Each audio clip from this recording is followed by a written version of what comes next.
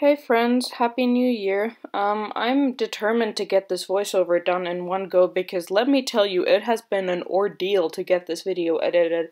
My, um, computer was out of disk space and, like, getting the clips transferred over from my phone was, like, a whole fuss and a half. I had to move, like, half of my files off my computer onto my, like, external hard drive and I don't, like, don't even get me started.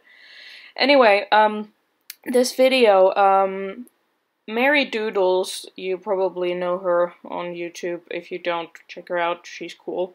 Um, she started doing these videos a couple of years ago, I think, where she would like always do a self-portrait in January, and I was like, yeah, that's a cool idea. I'm gonna do that. So I've done that. Um, this is the fourth year in a row, I think. I'll put up the um, pictures of the previous years, and also last year I also made a video of it, so I'll put a link to that if I can remember to do so.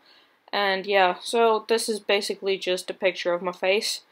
I used some colored pencils for the sketching and then the, I guess you could call it line art, and then I just um, painted it with these kind of shitty watercolors, and I actually used a highlighter for the hair. I just like took this little porcelain dish thing and I colored on it with the highlighter and then just mixed that with water and kind of used it as paint because um, I don't have like a pink watercolor and I wanted like a really bright pink for my hair because that's the color that my hair is right now. So yeah.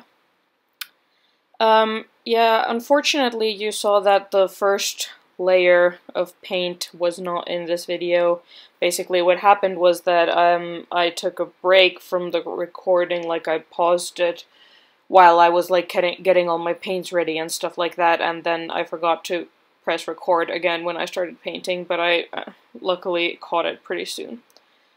So yeah, this is what I came up with. I don't know if I'll be making regular videos this year or not, we'll see. But anyway, thanks for watching, and I'll see you whenever next time is. Bye!